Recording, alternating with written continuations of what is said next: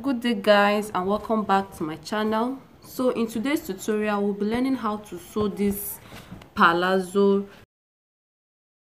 A very wide palazzo but it will be a, more like a corporate palazzo. So you'll be needing about two and a half yards of fabric for this palazzo. So the body measurement that we are going to be needing for the palazzo are the waist measurement the hip measurement the thigh the waist to hip the crotch depth the waist to knee and the full length of the person that you're going to be sewing the palazzo for. So you are going to fold your fabric the way that I'm folding it right now. I folded it into two.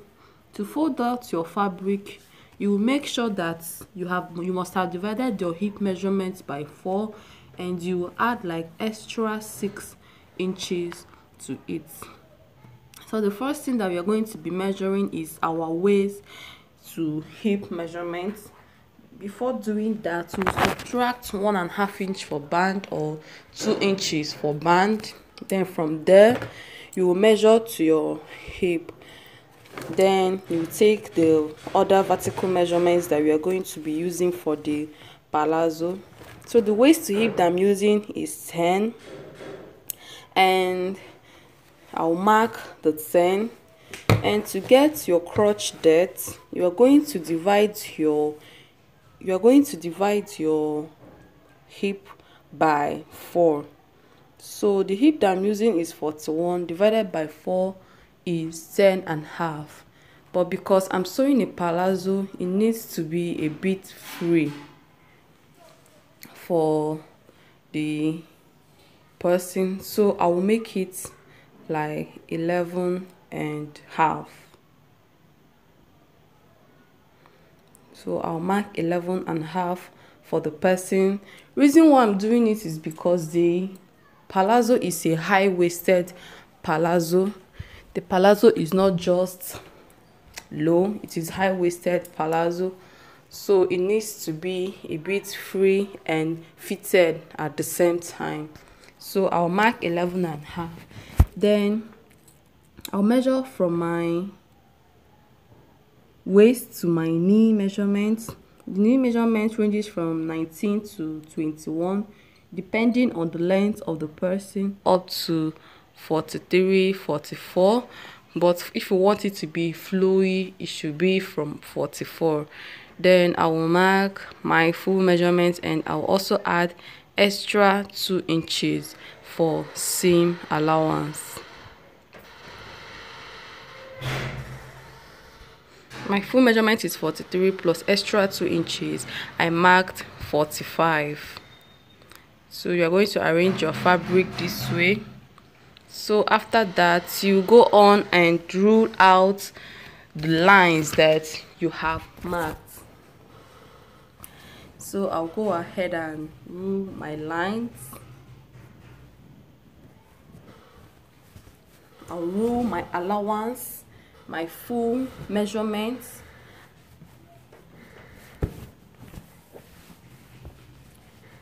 know the waistline so when you are sewing when you're cutting a trouser the first measurement that you would take is your hip measurement. Reason why you take your hip measurement is that after taking your hip measurement it will be very easy for you to derive other measurements. So her hip divided by 4 is 10.5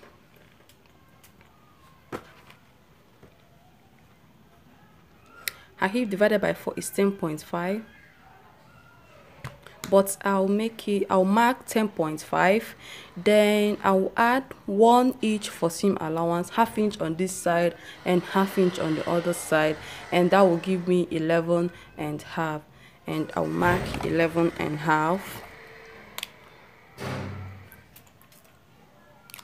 So the next thing that I will do is to connect my line from the point where I marked my hip measurement up to my waistline. I'll connect it up to my waistline so I'll go ahead and mark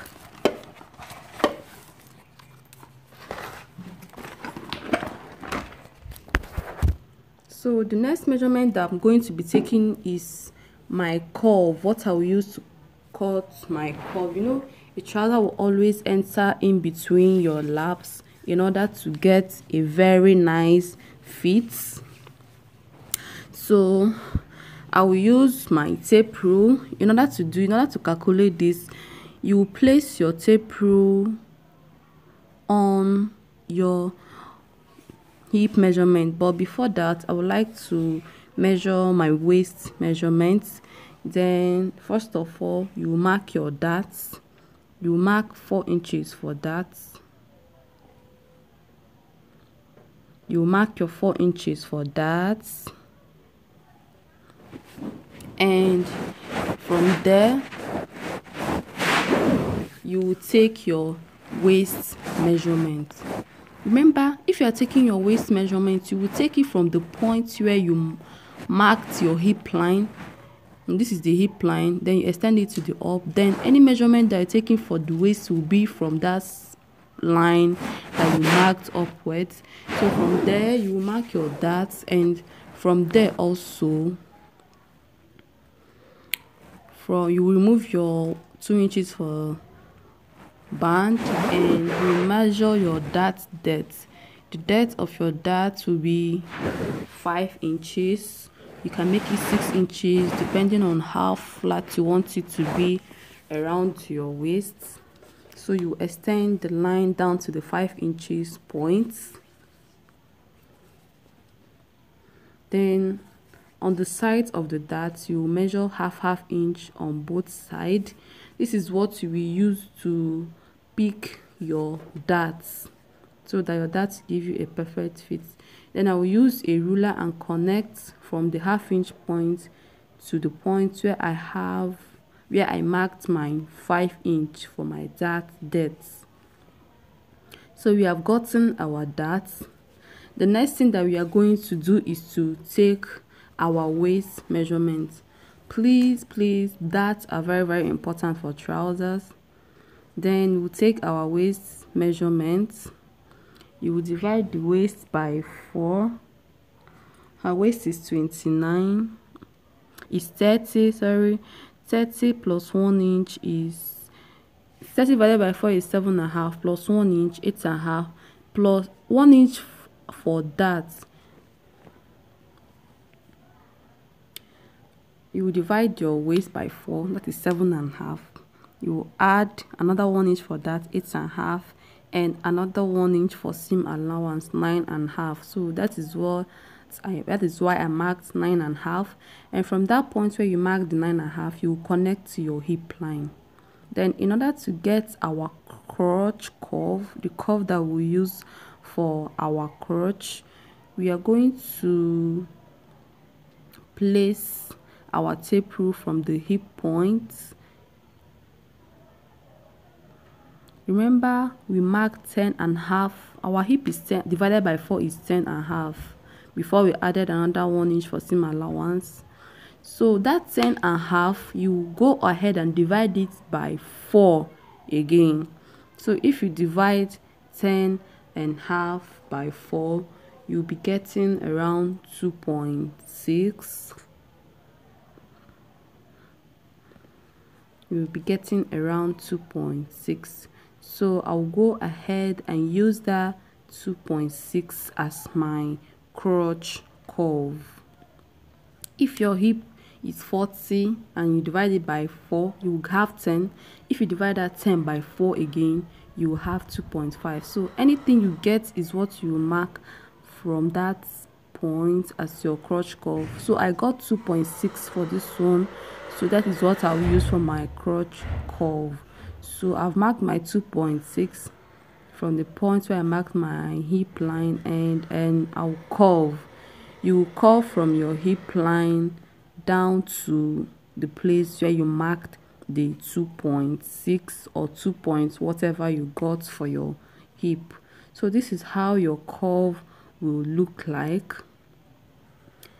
And the next thing you will do is to take your thigh measurement but before you take your thigh measurement you place your tape rule the way i did now. From the point where you marked your crotch curve to your hip point then you determine the middle point. Everything that i have there is 14 and the middle point is 7 so i marked that 7 that is where i will rule my line from. This line will divide my trouser into two equal parts. So the help of this is that it will make other measurements, taking other measurements easy for you. So in order to get my thigh measurements, I will measure 3 inches from my hip down this is your thigh and to get what to be fitted for you you will take your thigh measurements three inches below your crotch line.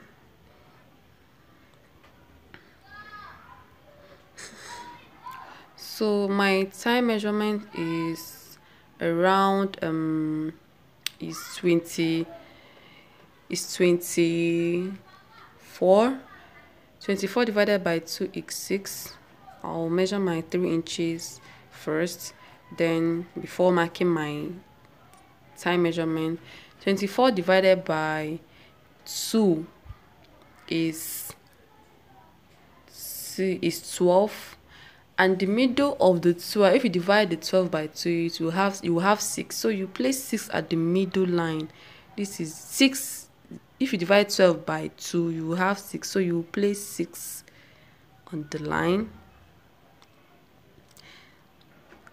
Then you add another 1 inch because 24 divided by 2 remember the trouser we have two pieces two four pieces two for the front size two two for the front size and two for the back size so the 24 divided by 2 is 12 plus 1 inch for seam allowance 13 so 13 divided by 2 is 6 and half. That is why I placed 6 and half on the middle line. So we see the points where I marked my 13 at. Then I'll go ahead and connect from my crotch line to the points where I marked and from my hip line to the points where I marked. Then for a palazzo, it is very, very easy. After getting, getting your thigh measurements, you will just draw a straight line down to the full length of your palazzo because it will be free the palazzo that we are sewing will only be fitted at the thigh area at the hip area then the rest of the palazzo will be very very free so you just draw a straight line down to the full length of your palazzo you are free to determine the wideness of the palazzo if you want. Then after drawing your straight line, the next thing is to go ahead and cut. This is all for palazzo. You don't have to take your your knee measurements, your ankle and all that. You just make a very free line, straight line down to your full length measurement. So I'll go ahead and cut what I have there. Remember to notch your dart it is very very important to notch your dart so i've cut out my front pieces for my trousers this is my front pieces for the trouser. It is on fold so i have two pieces here. One for the right side and one for the left side. So for a normal trouser you will just be taking what you measured on the trouser. But for this palazzo it is just free. So for the back part we'll fold our fabric into two again. Remember that it is four pieces two for the front and two for the back. So we are finished cutting the front part we are cutting the back part now. So you place your front part to the back part. The only difference between the front part and the back part is just a few manipulation or few allowances that you have to add i will show you how to add those things now in order to achieve a perfect fit trouser. So I've placed my trouser this way. At the crotch curve I'll come down by half inch and from there I'll add extra two inches. Remember the curve that you made for your crotch? You add extra two inches from there that is the crotch curve will be longer than the front crotch curve. So for the back part remember that for a female our back is a bit deep our waist is a bit deep at the back. So at the waistline of this trouser you will come in by two inches. At the middle back let's just call it center back you will come in by two inches reason why we we are coming in by two inches is that our back is a bit deep so that the trouser will fit in at that deep part of our waist. Then that two inches that you removed from the center from the center back you add it to the side back to the hip side. As you can see i added the two inches to the hip side. Then i'll add i'll come up by two inches at the center back as well. I'll come up by two inches depending on how big the uh, the bum of the person is. For a slim person you can use one inch. Then from that point where you marked your two inches upwards you will connect down to the point where you added two inches at the hip side. Let me repeat. You will subtract two inches from the center back and add it to the hip side because our hip is a bit curvy so i'll add two inches to the hip side. I'll transfer the two inches to the hip side.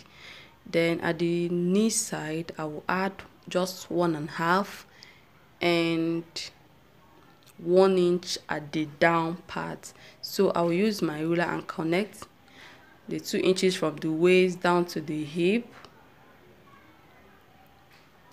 and from the hip i will connect to the one and a half inch i measured on the knee then i'll mark a straight line down.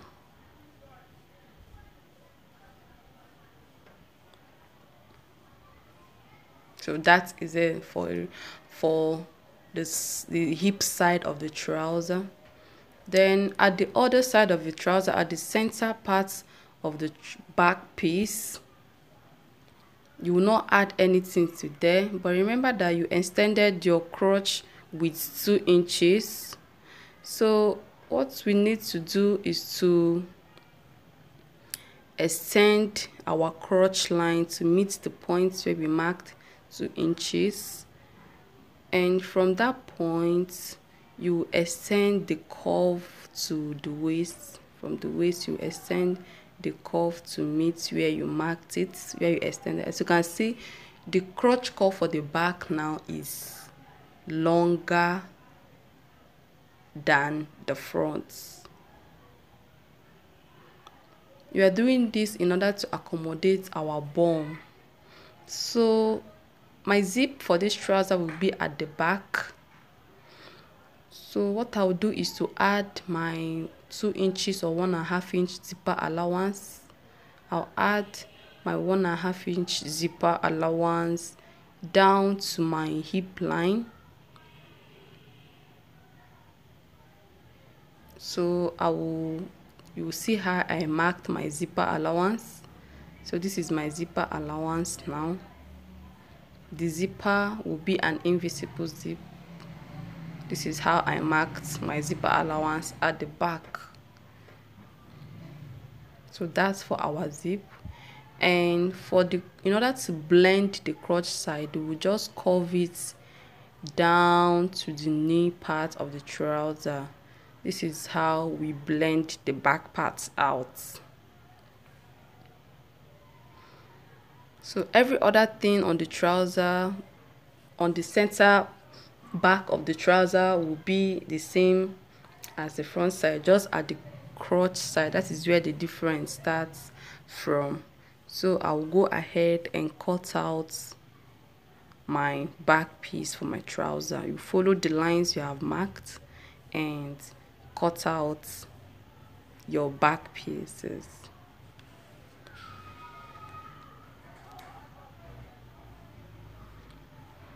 you cut your crotch side the place you extended your crotch and from there you cut up to the point where you have your zipper allowance. Then you follow the line that you made for your zipper allowance. You come up to your waist and cut out your waistline. And you also cut your zip side. So